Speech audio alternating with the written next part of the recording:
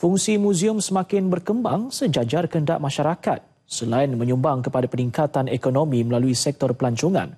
Bagi Menteri Besar Kedah, Datuk Seri Ahmad Bashah Madhanipa, institusi muzium ialah pemegang amanah warisan negara dan sebuah institusi pembelajaran yang terus relevan. Sejajar peredaran masa, muzium kekal lokasi utama dan penting bagi setiap peringkat umur untuk mendapatkan ilmu pengetahuan. Justru kewujudannya mesti terus dipertahan.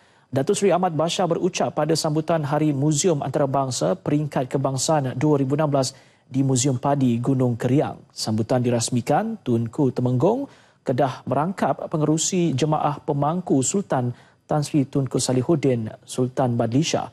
Hari Muzium Peringkat Kebangsaan berlangsung sehingga 21 Mei ini. Ia melibatkan pameran barangan muzium, gerai jualan dan kuis bersama pengunjung.